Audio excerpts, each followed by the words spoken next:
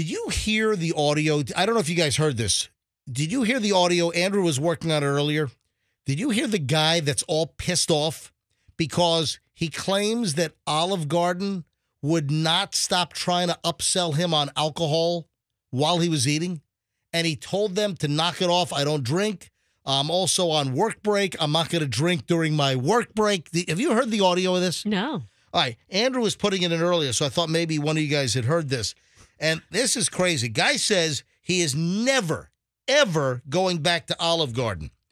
He says he doesn't drink, and the server would not take a hint. The server would not stop trying to push alcohol. And I know that a lot of restaurants they have the servers try to sell the alcohol because alcohol is typically the highest profit margin in the house.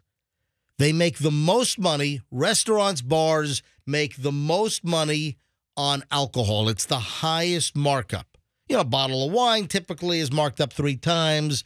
Uh, a, a, a, pour uh, is, uh, you know, marked up considerably. It just, that's a known fact that alcohol has the highest margins and a lot of the profit comes from alcohol sales. Yeah, a lot of these restaurants you walk in, first thing they do is they go down to drink specials. Uh, I want you to listen to this guy. So this guy went on a video rant. I'm leaving the Olive Garden. Left the guy a two dollar tip, and here's why. An Olive Garden needs to get their their together. If I tell the waiter who is trying to push alcoholic drinks on me that one I don't drink, and two the employee that's with me we're still working, you don't keep trying to push them. I am never coming back to Olive Garden again because that's the kind of BS that they want to push. No, that's not right. Y'all need to train your waiters better. Jeez, what's this Karen's problem? Well, because I guess he told them multiple times that I don't drink. We're working. We're on lunch break. We're, and the server just kept trying to push alcohol sales on him. How, how many times? Come on, dude, just have a nip. One beer. Come on. Come on. Come on. I mean, could it have been that annoying? Right? He comes by with the bottle. He goes, I don't drink. He comes by with like a different bottle. What about this one? Do we have any any servers, any managers, anyone in the food and beverage business? Can you give us some insight? Can you call us up, fire up the phones? I would love to hear from servers or from anyone in the restaurant business. Do you work for a chain? Do you work for a one off? I mean, you don't have to mention where you work, but can you give us some insight into alcohol sales and kind of the meetings before the shift begins? Uh, can you answer phones in there, Andrew? I don't know if your phone is on ring because uh, phones are ringing. All right, 800 990 1047. 800 990 1047. Can you give us some insight? And I was just fascinated with this guy. He shoots a video. He's like, I'm at Olive Garden. I told him we're not drinking. The guy keeps trying to push out the whole meal, apparently, trying to push alcohol on him. If you are in the business, restaurant business, whether you manage, whether you own, whether you're a server, give us some of the the inside information on some of the meetings on how they try to tell you how to push alcohol, how to upsell, how to move somebody from maybe a uh, uh, a well liquor up to a top shelf liquor. How to spot someone who looks like they'll drink a bottle of wine. It's the nose. Listen, if you really want to hey, know, it's the, the nose. bulbous if you have a big red, red bright nose, that person's a lush. So if you got like Bill Bill Clinton rosacea or something going on, yes, I mean, if your nose looks like Harvey Weinstein's genitalia. pretty. Oh, okay. Is- well, All right, hang on. All right, let's let's go to phones. 800 990 1047. Hey, give us some insight here. We love to learn. So if you would like to tell stories of alcohol upselling or trying to push alcohol, trying to ram up the tab at the restaurant, because alcohol is the highest profit item in the house in a restaurant, uh, give us some inside information or things I'm not even thinking of. Educate us on this deal. But clearly, this guy who's all pissed off at, Al- uh, at Olive Garden, uh, the server, I don't know whether it was a bonus. I don't know whether it was some kind of promotion. Whoever you know moves uh, X number of bottles of this particular wine. and that's another thing. Sometimes there's Yeah, contests exactly. or something amongst the See, servers. that's what I want to know. All right, educate us. Tell us stories. Fill us in. Give us the deets. All right, 800 990 1047. 800 990 1047. Will is in Orlando. Oh, look at this. Will says he's a food and beverage director. Hey, Will, you're on the MJ Morning Show on Q105. Welcome. Hey, uh, the markup is like 300% on alcohol. Yep. Um, we actually get huge promos from vendors when they come in. They'll give us uh, merchandise if we push their stuff. A lot of the time, the So, like Tito's vodka or something. So, there, there might be a big Tito's promotion, right? yeah, Tito's will send it. Some of the garbage product will be the stuff that we push. Some of because the some of the garbage product is what you push because it's so cheap and the markup is ginormous. Yeah, traditionally, uh, the better marketing that they have, the more garbage product is. Like, if you look at your uh, tequilas, if you look at your like anything that's like a fancy bottle, it's normally lower quality. So stuff no one's ever heard of is the uh, better stuff. Traditionally, the uglier the label, the better the product. The- like a glass of Sailor Jerry, ma'am. Sailor Jerry. What what type of liquor is that, Froggy? I think it's a whiskey, isn't it, sir? Sailor Jerry. Oh, it's a rum. Yeah. Hold on. Did you make that up or is that real? Have you never heard of Sailor No, Taylor Jerry? Jerry is rare. No, there's a real Sailor Jerry Yes. Yeah, rum. Sailor Jerry it's rum. good, yeah, it's good stuff.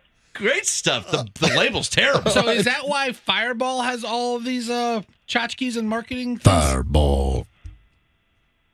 All right. Yeah, the- traditionally, the uglier the label. All right, but hey, thanks, Will. Appreciate it. You've never had Sailor Jerry's? oh, we I tore mean, up I'm not- Sailor Jerry's I'm back not the in biggest day. rum Guys, guy either, but I'm W and W. You guys know I'm wine whiskey and and women.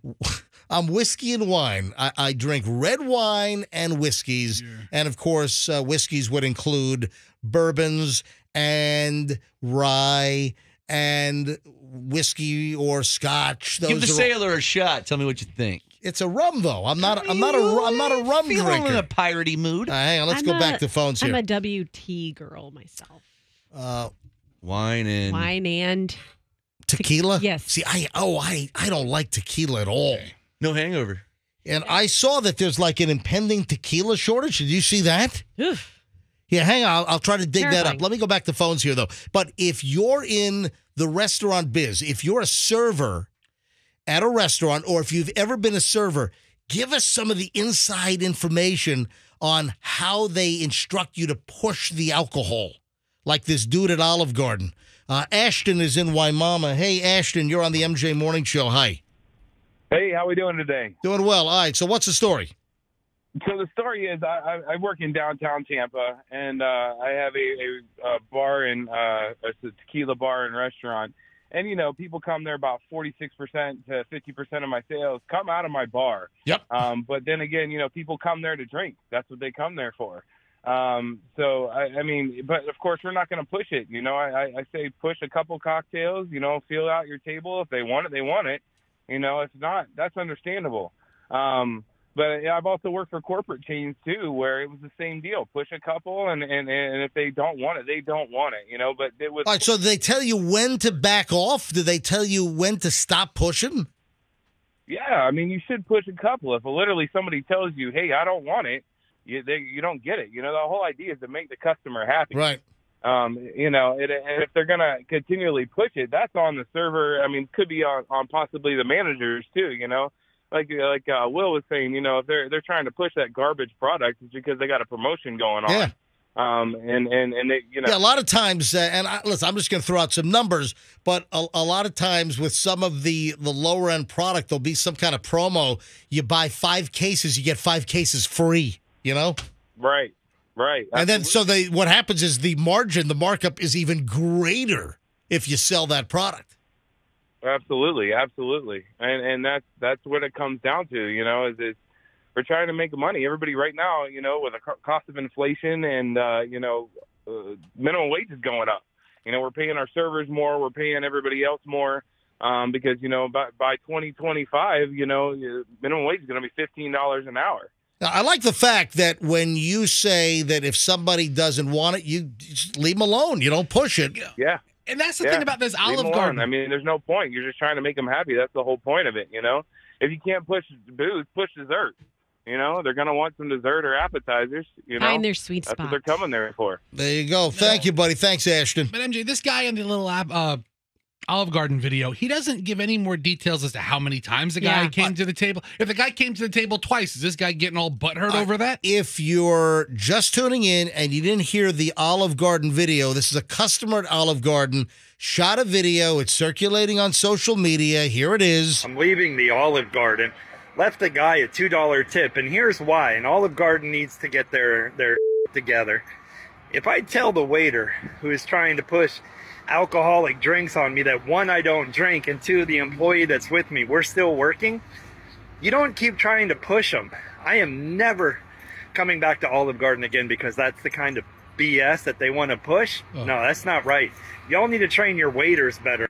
What has he never seen anyone drink and work at the same time? People do drink when they're working. Here are some more details. The Olive Garden, he says, where he went was different. He said when the server came, Steven says that he and his colleague ordered Dr. Peppers. He says that they were looking at appetizers. The server interjected, saying, Hey, you want to get some alcohol started? And Steven says, No, no, no, no, no.